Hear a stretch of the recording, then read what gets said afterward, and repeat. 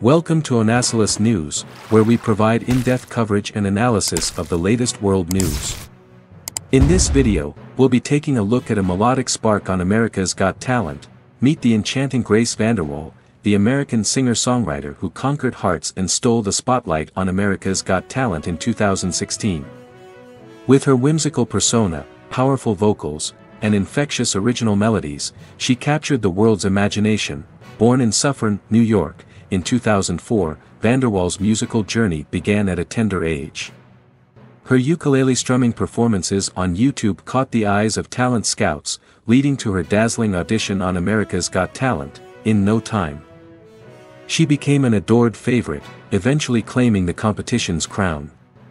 Since then, she has mesmerized audiences with two captivating studio albums, Perfectly Imperfect, 2016, and You Are So Beautiful, 2019, VanderWaal's signature ukulele and unique style have become iconic.